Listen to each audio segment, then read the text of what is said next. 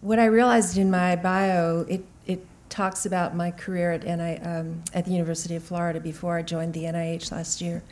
But since I'm in New York, I want to very proudly remind everyone that I am a native New Yorker. I was born here and I did all my education here. My PhD is from Einstein, and I did my fellowship at Sloan Kettering, so it is great to be back. Uh, okay, so um, what I want to talk to you about today, and what I realize is being the end of the agenda, a lot of what I was planning on saying has already been said. But that being said, that will give us enough, I think, time to get back on track again. I want to focus the first part of my talk on the what the OAR does and how the NIH fit, how the OAR fits into the NIH and what we do. Some of the middle part of the talk you've heard, and then I want to focus on um, some of the new um, initiatives and what's been going on in aging since um, the, particularly since the workshop that Jules mentioned that was held held in uh, 2012, I believe. So the NIH was actually established a number of years ago, and the reason I'm showing you this slide is actually because of the insert which stands by the front door of what's called Building 1, which is the original building on the campus. And it was the dedication that Franklin Delano Roosevelt um, made at the time of the dedication of the campus in Bethesda. And the insert talks about the NIH um, uh, developed to further the health of all, and it's dedicated to public health conservation of life, and the wise use of vital resources um, that are uh, from our nation. And I really think that that is, a, is an incredible foresight and statement, and it really sets the stage for the NIH even today. So the OAR's role is to coordinate the trans NIH HIV AIDS research agenda. The Office of AIDS Research was authorized by Congress in 1985 and we're authorized to oversee, coordinate, and manage NIH HIV AIDS related research. We are authorized to establish scientific uh, priorities for the research. We invest the research funds in line with the scientific priorities, and we report to Congress on how this money has been spent and what the outcomes are. So there's really, th what we do really falls into three main categories. We convene, and oops, not that far. Um, we convene, we, we can have workshops, we can uh, have advisory groups, task forces, uh, seminars, any kind of, of convening power, and we can do it at the NIH or we can do it offsite as well. And that allows us to bring together investigators and, and stakeholders from different fields, from different areas, from different interest groups, and to really start to catalyze the thinking about what the scientific agenda should be. Where are the gaps? Where are there hot new um, uh, findings that maybe we should be really focusing emergency funds on?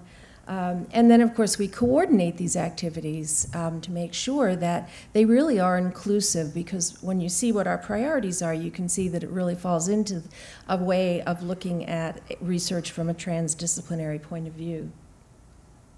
And at the NIH, there, um, the NIH is comprised of 27 institutes and centers and then a number of offices as well. And virtually all of these entities have an HIV agenda. Um, and while they develop their scientific agenda, OAR coordinates the trans aspects of this so we can kind of keep a balance at a 30,000 foot level of what's going on in each of the institutes and centers and working very closely with them. I meet with the directors frequently. And because of the work of the OAR and because of the way it was envisioned that this office would work, when you look at the organizational chart, which um, I realize probably is pretty boring, but at the top, you have the Secretary of Health and Human Services, um, which is currently um, vacant. Um, um and under the um, Health and Human Service Secretary, one of the agencies that reports to that office is the NIH. And of course, you know also FDA, CDC, HRSA, SAMHSA, all the other places are up there too. But within the NIH, the Office of the Director, the Office of Research is embedded in the Office of the Director. And in that way, it allows us to function in a trans NIH way. So, one thing I always tell people, and they have to be remember, the directors of the institutes and centers do not report to me, they report to Francis. Um, Tony Fauci does not report to me, even though people ask me that a lot. Um, so, the OAR vision overall is really to advance research to end the HIV pandemic and to improve the health of people living with HIV. And in order to do that, we have a really robust research portfolio that not only deals with research, but also a lot of training. It transcends every area of clinical medicine and basic scientific investigation. As I've mentioned, it's trans NIH, multidisciplinary, and global. And it represents the largest public investment in HIV/AIDS research globally. It's a $3 billion investment by the American taxpayers in biomedical research in HIV/AIDS, and that is the largest amount of money in the world that any entity puts into that area. So, in order to focus and prioritize the distribution and the investment of these resources, in 2015 there was a rearticulation of the NIH HIV research priorities. And that includes reducing the incidence of HIV, developing next generation therapies, addressing the HIV associated comorbidities, co infections, and complications, and research towards a cure. And then overarching and over uh, cross cutting across these are the cross cutting priorities that include areas like basic research, like implementation science, information dissemination. Um, uh, behavior and social science research because many of those activities go across each of, you know, across all of the priorities.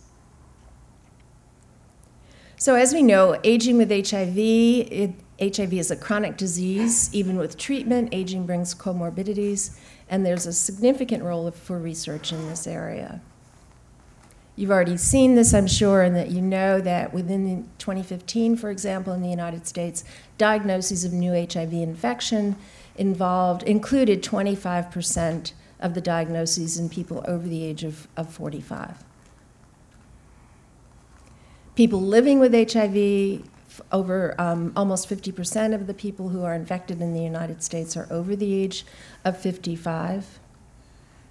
And basically, what's happened over the last 10 to 15 years of the HIV epidemic, if you think about it, is that it's really a condition that occurs and, and across the lifespan. It's no longer something that just occurs in pediatrics with mother to child transmission or in, in uh, youth, but it really occurs across the lifespan. Um, and this is an important consideration because when you think about the issues of prevention and treatment in the, at the different times of life, they're very, very different needs. What's going to work and resonate in youth in terms of prevention is not going to be the same type of approaches that are going to ne be needed to address the 25% of the new infections in people over the age of 50. And I think this, these are data I show because it really surprised me. Um, from part of these data really were surprising to me. In the first, looking at age disaggregated data in terms of the HIV care continuum across the lifespan, if you look in the first bar, uh, which is uh, knowing that you have an HIV diagnosis, not surprisingly, the youth know, fewer youth know that than the older people. But I think what's the real issue here is that when you look at the retention in care and viral suppression, it really doesn't matter what age group it is. The, the results are in uh, uh, unsatisfactory and substandard across the age. But there again, if you think about it, what's needed to deal with the problem at each of the age groups is going to be very, very different.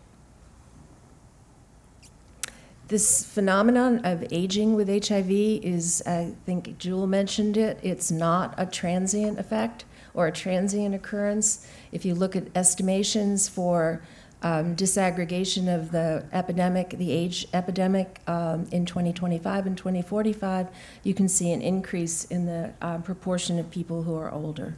So this is the trend, and it's the trend not only in, in the United States, but in a lot of middle income countries as well.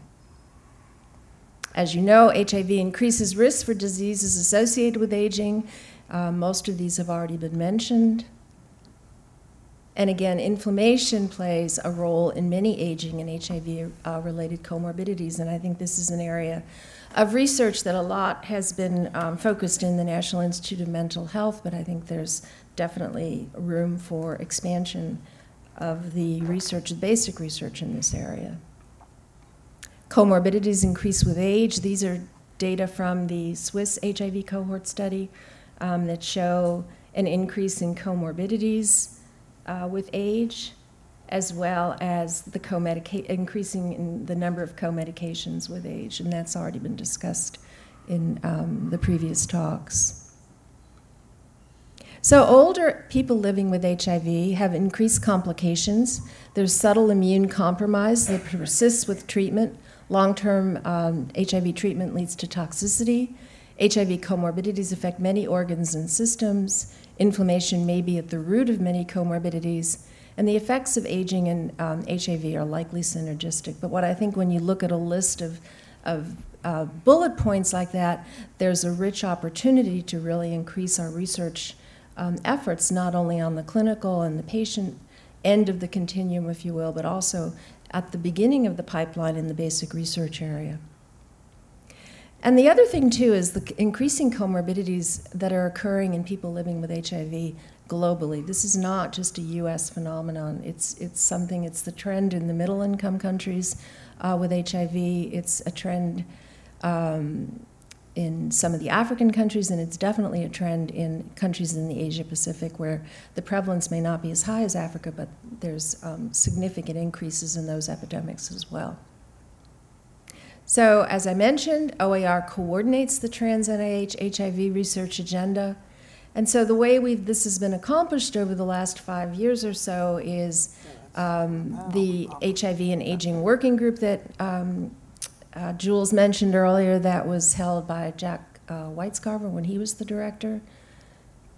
We had a listening day shortly after, about six months after I became the director, so that I could meet a lot of the advocates and stakeholders from the community, and we had it at the um, uh, Fisher's Lane in Rockville, where the OAR is located. Um, and there was a definite consistency, even five years later, that aging research um, was a significant uh, gap in the portfolio of, HIV, of NIH. Um, frailty, accelerated morbidity and mortality, the polypharmacy issues, certainly ethnic, sex, and gender issues, and HIV and treatment um, impacts. Over the last um, five to eight years, the NIH has increased its investment in HIV aging research from about $50 million in 2011 to almost 100 million estimated for 2017. This, I want to remind you, this increase um, is in at a time when the overall NIH budget and the HIV/AIDS budget has remained absolutely flat. So this is an increase on a background of a flat of flat appropriations.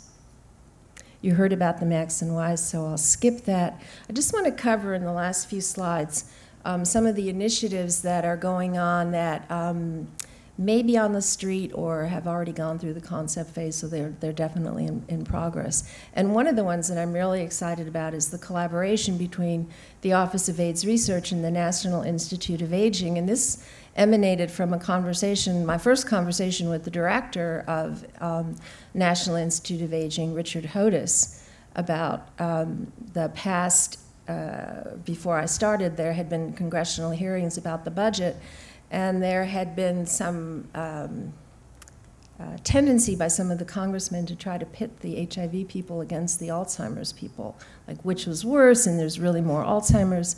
And so Richard and I talked about it and decided neither of us wanted to be engaging in that type of activity, and that really there was a lot of scientific justification um, to consider aspects of the mechanisms of Alzheimer's and the mechanisms of neurocognitive degeneration and disease in HIV, particularly in older people. And so we agreed to put together an initiative that should be coming out. Um, I think the FOA will come out next year, early in 2018, and I'm really excited about that. There's actually, by the National Institute, Institute of Aging, at least another 14 HIV uh, um, related FOAs that either on the street or will be um, announced shortly. So I think over the next five years, there'll be a huge increase in the activity um, and in the funding in this area.